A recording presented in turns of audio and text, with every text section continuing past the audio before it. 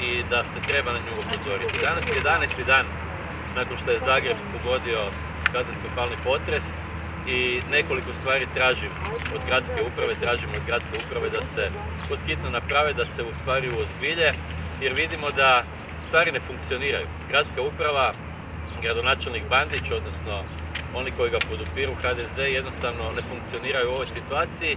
Najviše upravo najodgovorniji ljudi grada Zagreba, to su za, za e, ovakve situacije, to su gradonačelnik e, grada Zagreba Milan Bandić i pročelnik za hitne situacije Pavle Kalinić koji se imao 15 godina spremati za jedini posao koji u biti očekujemo kao građani ovog grada od njega da, da odradi da u kriznim situacijama grad funkcionira. 11. je dan, očekujemo da se podhitno riješe stvari koje su urgentne, koje su se morale riješiti u prva dva, tri dana, a to je da se e, gradska pričuva, novac koji ima na raspolaganju grad Zagreb, e, uključi i da se konačno obiđu sve nekretnine koje su oštećene, da statičari e, izađu, da ih se plati za posao koji bi trebali odraditi, ne da se traže volonteri i zbog toga to toliko dugo traje. I druga stvar, da se angažira i tehnika sa svih gradskih gradilišta, da se plati i da se saniraju ovi objekti koji se ovako danima mic po mic rješavaju također sa velikim naporom na što smo posebno zahvalni e, e, od strane vatrogasaca, volontera i svih onih koji sudjeluju u ovim poslovima na koje smo spali, a ne bi trebali.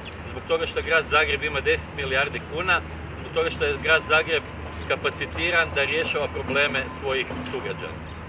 Druga stvar, želimo da se grad Zagreb aktivno uključi u donošenje zakona o obnovi grada Zagreba.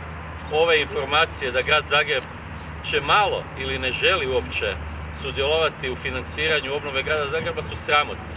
Grad Zagreb mora biti jedan od stupova obnove grada Zagreba.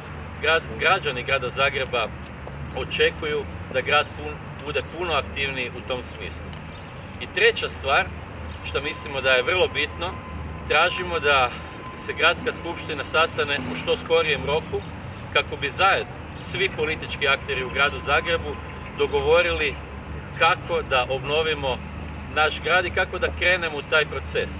Znači, Skupština se mora uh, sastati u što skorijem roku, pozivam ovdje i HDZ da u ovoj situaciji pokaže, iako je tri i po godine snažno iznad gradonačelnika Zagreba, da, da nisu više trgovačke, trgovački interesi u prvom planu, nego da će uh, predsjednik gradske skupštine sada skupštinu u najskorijem mogućem roku i nakon toga da dogovorimo koji su konkretni potezi koje možemo svi zajedno napraviti kako bi se grad što prije počeo obnavljati.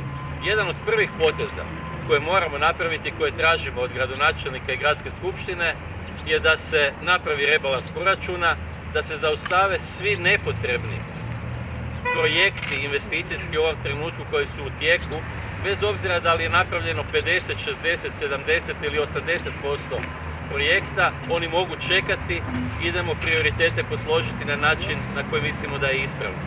Spomenici su danas da obnovimo naše škole u gradu Zagrebu, da bi naša djeca mogla što skorije krenuti u te škole kada se ova kriza oko korone završi. To je prioritet i to je spomenik koji trebamo napraviti. To su prioriteti koje želimo i to su tri stvari koje sam ovdje rekao, koje tražimo od gradonačelnika grada Zagreba da napravi u što skorijem roku. Da završi ove radove koje su već trebali biti davno završeni vezano uz popis štete i, i sanaciju e, ovih prvih radova koje se mogu napraviti.